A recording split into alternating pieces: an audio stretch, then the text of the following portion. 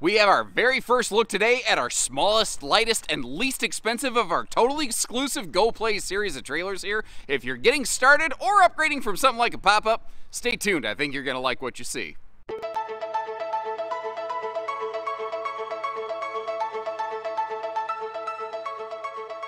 Hello and welcome back once again, everybody. Josh the RV Nerd, and I'll be your guide once again today as we go through our Go Play 19BH from Wayfinder RV. Basically, in a sense, our own exclusive company uh, where we are kind of revamping the way that RVs can be manufactured and represented and sold to customers. What we've done here is we've cut out a ton of manufacturer middleman money and brought you all thriller, no filler on something that is really feature packed and uh, we feel very priced aggressively. And actually, if you want to check out any of our pricing on these, we uh, we're able to pretty much standardize them across the nation, uh, and you can check all that out at our Wayfinder RV website. But what are we looking at on this floor plan?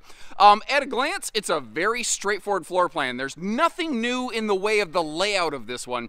It's the way that we've cut out a bunch of extra money to give you a fully featured RV for a couple grand less that makes it pretty attractive. This has a one plus three year warranty. Um, it's a full eight foot wide, which is a little less common on single axles, but that adds some extra living space uh, and, and, some storage that a, more conventional seven foot wide single axle just simply would lack. The uh, underbelly of this is enclosed also, which is a nice find, but it's carpetless, it's pet friendly, it's easy cleaning. I call it easy breezy, beautiful cover girl kind of camping right here. Um, with, with some really smart content details. Like if you've never owned an RV, there's things here that are absolutely fantastic that you wouldn't even think about, like drawers in the kitchen. So many single axle little bunkhouses have absolutely no drawers in the kitchen whatsoever. But as a first time RVer, that's just something that you almost take for granted would be located in a kitchen. We made sure that we had those kind of things in this RV. We've got a 12 volt compressor fridge, which is travel friendly, fast cooling. We're solar prepped if you want to, uh, you know, kind of wire it up and spend some extra time off grid. And there's a bunch of other really cool, awesome features I'm really excited to show you on this one. Now, it's not necessarily what everyone's going to call perfect. Like, I'll volunteer the fact that it has a Camp Queen that I'm not personally really a big fan fan of, but there's a reason that we kind of have it in this floor plan. And telling you the good with the bad, even though it's our series of trailers, still what we're committed to doing here in our relentless pursuit of transparency. And if you appreciate that, hit that subscribe button if you're new with us. But I will tell you, there is one thing that's really weird in the bathroom of this RV, and it's me. Now, like I kind of said, the, the floor plan of this is not original. That's not our goal here. Our goal is to get straightforward, very functional, and to basically streamline the cost of a lot of the uh, RV production process so that we can try to get you something that's fully equipped and fully featured without the, the full price tag. And so far, it seems to be working pretty well. But there are a couple things that I sort of feel like, I don't know, maybe spending a few extra dollars might be worth it. Now, volunteer one of those right here. Uh, and really looking for a lot of your feedback. Like, the you know, the bunk space is pretty straightforward. By the way, do you prefer this open bunk design or would you rather have it more closed off? I kind of like the way the RV looks bigger. And I feel like with the bunk still mostly enclosed up by the head and chest area, it's not, I don't think my kid's going to fall out of it, you know? Um, and my kid tends to be a thrasher, man. She, she, she just bounces around at night. But I like the phone pockets. Like that's cool. But no power outlets actually in these bunks. I think like even just a simple set of USB plugs would be great. I do like, by the way, each bunk has its own little, you know, outside curtain, and uh, they uh, they do open for airflow, the windows. Now, the lights in the main cabin are on one switch, which is, again, something not a lot of single-axle campers always do. And one of the reasons that really excites me is something I haven't mentioned yet. This RV's taller. Um, a lot of manufacturers, when they have a tandem axle, eight foot wide series of travel trailers. And then they also start building a, uh, a, single axle camper. Usually your single axles are are not as wide and often not as tall. That's not the case here. This is a, a the normal standard body size, eight foot wide, six foot nine tall inside. It's just shorter. You know, that's the thing. It's the same Go Play. It's just shorter. Now, this is, I don't really think a good camper for sitting inside watching TV all day. You can see how the TV bracket's basically covered by the curtain.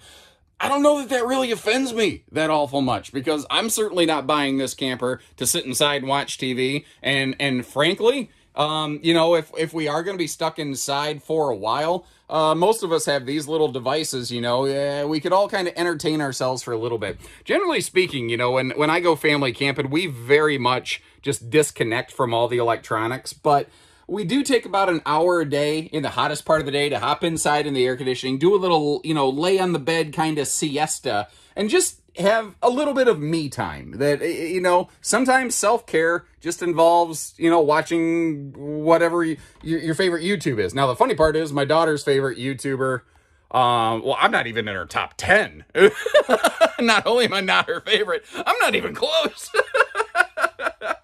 um the rv is a little bit lacking in campsite window coverage but this is a small rv with the full viewing window in the kitchen and the entry door. I don't think it's terrible. And there's no heat vents in the floor. Um, no carpet other than the carpet square where I wipe my feet, which naturally you're looking at right now because my timing is impeccable. Um, it's kind of like a, a duck with no bill. It's impeccable. this is another thing I'd really personally like to see changed on these. Instead of the knee knocker posts, I would prefer myself a set of those free uh, floating folding legs. And maybe the, the, the, table brackets against the wall for stability. Maybe it doesn't, but having that table be able to get out of the way, it actually, it's, it's crazy how big it makes the RV feel, and you can take it outside for picnic o'clock, as it were. This is also something I don't love, but on this floor plan, the weight, you know, without extending the length and the weight and the cost, I don't know how you really get around it without losing a bunch of storage. And that's the, this is a 60 by 74 Camp Queen. It just, it just is. Like a taller person like me, I'm a little over six foot. My I'd, I'd probably have to sleep on the side nearest the dinette.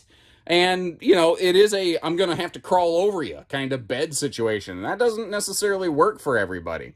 Um, Again, we do have a full window in the door. It doesn't come with a privacy shade, but it is prepped for one. And that's a, that's a low dollar thing. And that's kind of some of the logic that we applied to these RVs.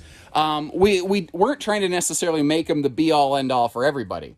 But there are certain things that some people have certain preferences for, and we wanted to make an RV that could kind of easily accomplish those things with little to no cost. And, and like the, the, the shade in the entry door, you don't, you don't need a tech degree from RV school to, to install one of those. If I can do it with my, uh, you know, Three Stooges uh, level of tool proficiency, I'm pretty confident you can too. Another thing here, these are not stapled cabinets. This is all pocket screwed lumber core cabinetry with all wood doors, which is a, another nice little touch. Um, the 12 uh, volt DC compressor fridge is currently the standard and only fridge option are available on these. Like we really actually have no options on these whatsoever. Uh, because as strange as it sounds, even if an option is not applied to an RV, simply having a variety of options available will actually increase the base cost of an RV because of the extra manufacturing management level and oversight. So we wanted to start with these meet and clean, down and dirty, and then let you kind of help guide us from there. Um, personally, I really like the big farm sink in here because it is coupled up with the vertical two-burner stovetop that has countertop space on both sides. So I don't care if you're lefty or righty. That makes sense to me. And we're going to get all that storage open uh, in just a few minutes here. I kind of realize that we've done the Sound of Music Maria and we've wrapped our way back around to go. So let's start crack-a-lacking open all the storage here, which is a bit of a technical term.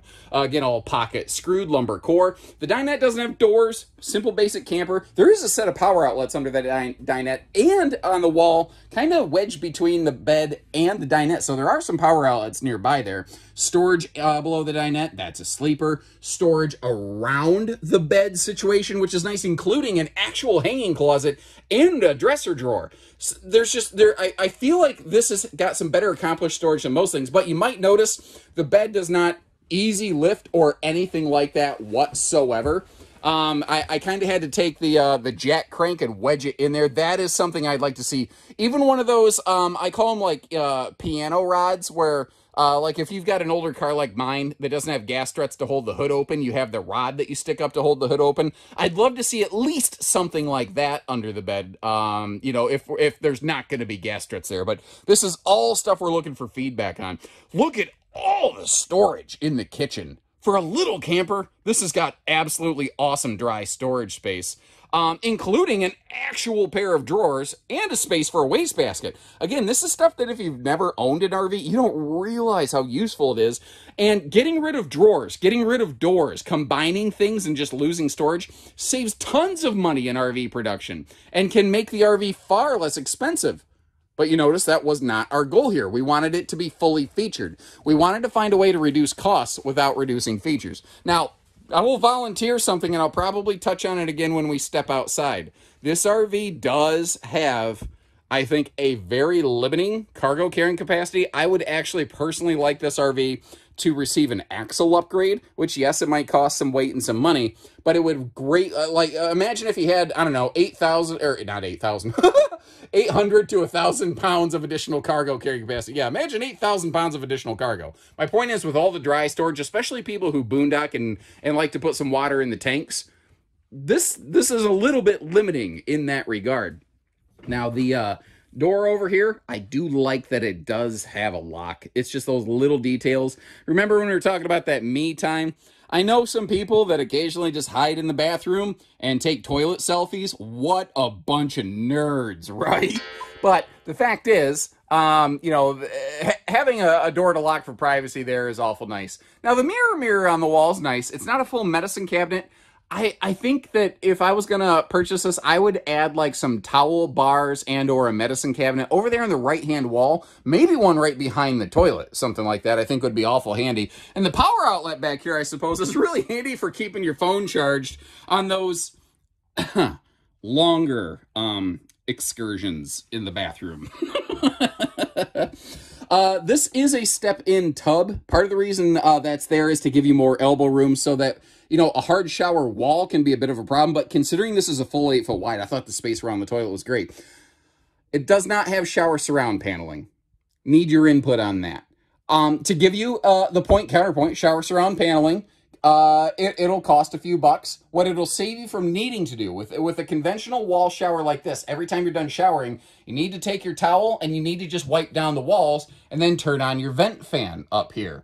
By the way, not all single axle campers have vent fans in the bathroom that can do that. At least this one does. Would you like to see a shower surround uh, on this, though? Understanding it'd be a couple extra dollars. And this right here, the uh, the skylight and the power vent are one thing. And again, with this being six foot nine tall, I was able to stand in the shower, no problem, with shoes and nerdy little hat right here, covering up my male pattern baldness, friar tuck, bad hair day situation. I wish I understood how, uh, it's just, I, I did not win the hair lottery, uh, obviously, when I was born.